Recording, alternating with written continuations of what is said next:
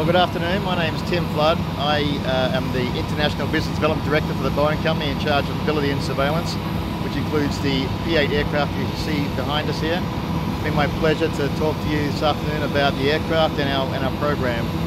Uh, so first off, I'd like to acknowledge the great partnership we have with the US Navy, and we're really grateful they brought the aircraft here to Dubai so we can showcase this uh, awesome capability to both uh, the customer and to, uh, to the media. So a bit about the program. I mean, we've so far delivered 140 aircraft to uh, four customers.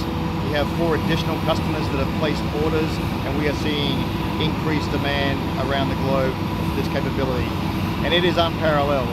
Uh, there are other maritime surveillance assets, but in terms of uh, range, endurance, and capability, you know, the, the P-8 is, uh, is unmatched. And as we're starting to see uh, increased security threats from uh, from, uh, from submarine actors, we are seeing increased demand to counter those threats with, with the P-8 aircraft. So we're excited about the future opportunities for the P-8. Now, as far as capability aircraft, I mean, it's a 737 next generation uh, heritage aircraft, but it has been uh, produced through that production facility, but from, from the start, it's an inline produced aircraft as a P-8. So that means that it's been ruggedized to, you know, to fly the mission, it's got the uh, ability to carry weapons on the wings. It's got a weapons bay under the belly to carry torpedoes and air sea rescue kits to provide search and rescue opportunities. And then inside the aircraft, you'll notice uh, a very different configuration. There's similar up front with the two pilots, but then in the aft area, we've got uh, six mission uh, mission crew workstations for uh, where the, the mission crew will sit and perform all raft of mission-related duties, whether it be from anti-submarine warfare or anti-surface warfare or just general uh, intelligence, surveillance and reconnaissance missions. Uh, and I mentioned earlier, has the ability to perform humanitarian assistance through search and rescue with that ability to drop um, life rafts to survivors in the water. If you go further aft of the crew station, it carries 129 sonobuoys. Now a sonobuoy is used to uh, deploy into the water can be used to either passively or actively detect, uh, localize and track submarines. That's a, a, key feature of the aircraft.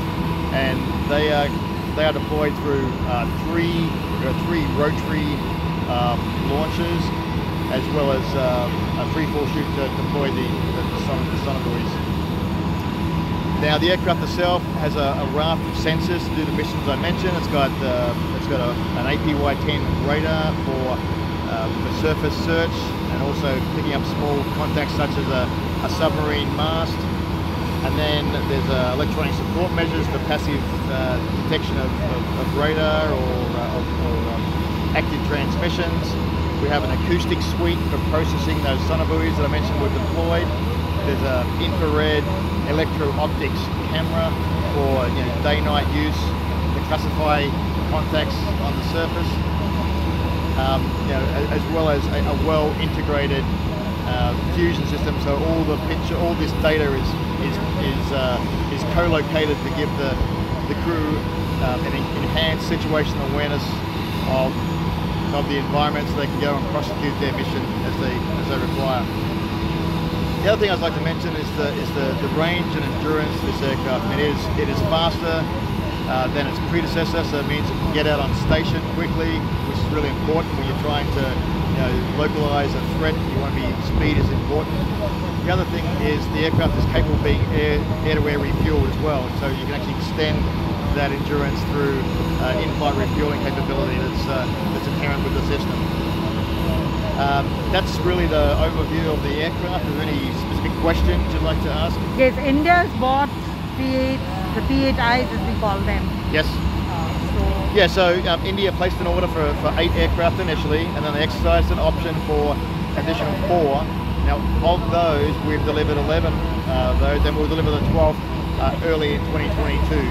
And we're seeing, we are seeing uh, you know, increased demand just through the satisfaction uh, of the aircraft with the Indian Navy, and we are pretty confident that we'll see uh, further further order from, from India. Thank you so much, Thank no you worries. very much. My Wonderful. absolute pleasure. Okay.